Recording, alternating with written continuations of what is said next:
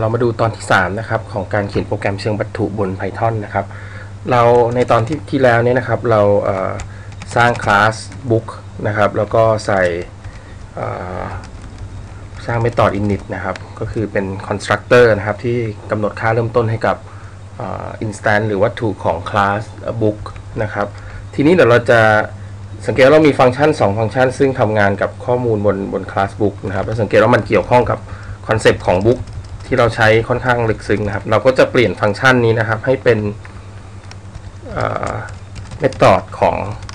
class book นะครับ เราจะทำให้มันเรียกแบบนี้ได้นะครับ member price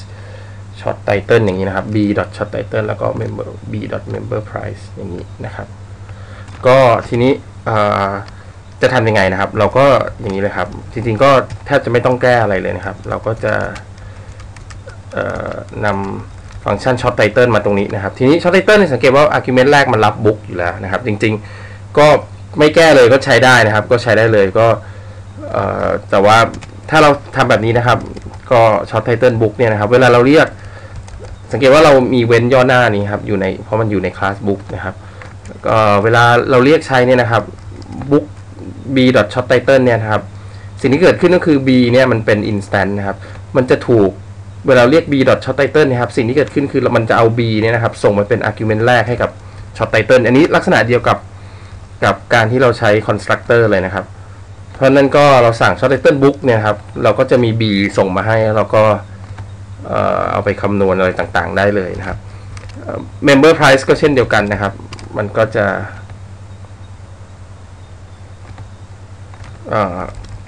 ส่งค่า argument แรกให้เลย เช่นสั่ง b member price เนี่ยนะครับ มันก็จะเหมือนเรียก member price แล้วก็เอาเอา book นี้ส่งไปนะครับทำแค่นี้ปุ๊บก็จะใช้ได้เลยนะครับนะแต่ว่าใน Python เนี่ยนะครับเขาเขียนอย่างนี้เนี่ยมันก็พอได้แต่ว่ามันก็จะดูไม่ค่อยชัดเจนเท่าไหร่นะครับเขาก็นิยมใช้ว่าเซลฟ์อย่างเงี้ยครับจะได้เห็นว่ามันเป็นตัวเองนะครับนั่นก็เราก็เปลี่ยนชื่อซะจริง ๆ ไม่เปลี่ยนก็ก็ถูกนะครับ แต่ว่า เขาก็นิยมจะใช้เซลล์แบบนี้ รวมทั้ง Emacs ผมก็จะคิดว่าเราชอบเซลล์นี่เป็นความพิเศษนะครับ ก็จะเน้นให้เราเห็นนะครับนะครับ แบบนี้ก็จะเรียบร้อยครับ เราก็จะเรียก b short title b member price ได้เรียบร้อยนะครับ เราก็จะได้ class book ซึ่งมี method short title method member price เรียบร้อยนะครับ แล้วก็มี init แบบนี้นะครับ ทีนี้อันนี้ก็เป็นโค้ดที่พอพอพอดูได้แล้วนะครับ ก็ชัดเจนอ่านตรงนี้ก็อ่านรู้เรื่องนะครับ จะพิมพ์อะไรนะครับ แต่ว่ามันก็ยังมีหลายจุดที่เรายังไป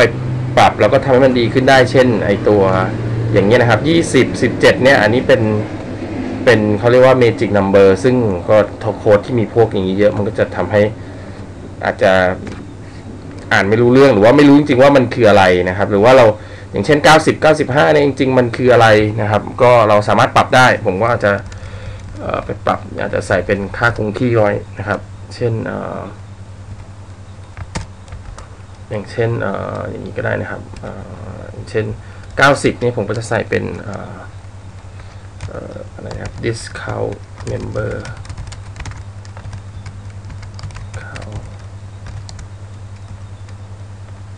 นะครับ ก็ เป็น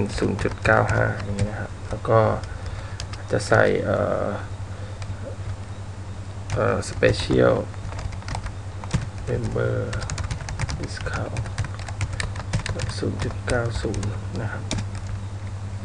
นี่ก็โค้ดตรงนี้นะครับ price ก็จะเป็นอะไรนะครับ special member discount นี่ก็เป็น member discount นี่นะครับ ดูสิครับว่ารันได้หรือเปล่าอาจจะอาจจะบักนะครับอ๋อมันไม่รู้จักนะครับ ไม่รู้จักอันนี้นะครับ จริง ๆ มันเราประกาศไปตรงนี้นะครับ member discount special member discount มันจะเป็นของ class book นะครับเราต้องใส่บบอกไปด้วยครับว่าเป็น book dot book dot นะครับอะนะครับก็ได้เรียบร้อยนะครับนั่นก็ 20 นี่ก็เหมือนกันนะครับ ก็แก้แก้ได้ให้มันชัดเจนมากขึ้น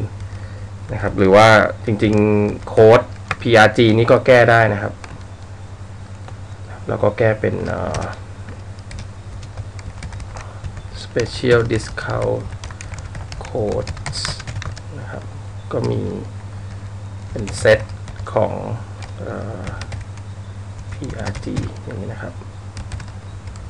นี่ก็เช็คเอานะครับว่า in in book dot special discount code หรือเปล่านะครับ ถ้าอย่างนี้ก็นะครับก็โปรแกรมรันถูกเหมือนเดิม แล้วก็เราก็กำจัดพวกเมจิกนัมเบอร์ทิ้งไปบ้างนะครับอะนะครับประมาณนี้ คิดว่าคงเห็นเห็นภาพมากขึ้นนะครับว่าเราเราย้ายตัวเมธอดของคลาสมาอยู่ในนี้ได้ไง จริง ๆ แล้วยังมีประเด็นอื่นอีกนิดหน่อยนะครับ เช่นเรื่องของโค้ดตรงนี้นะครับ ก็ถ้าเกิด คนที่เขียน OP จริง ๆ ก็เราก็จะเห็นโค้ดแบบนี้ก็จะอาจจะต้องคิดว่าเราต้องเป็นการแยกทำคลาสที่มันสืบทอดมานะครับ ซึ่งเดี๋ยวเราพวกนี้เราจะดูในตอนถัดไปครับ โอเคครับสำหรับตอนนี้ไว้แค่นี้ครับ ขอบคุณครับ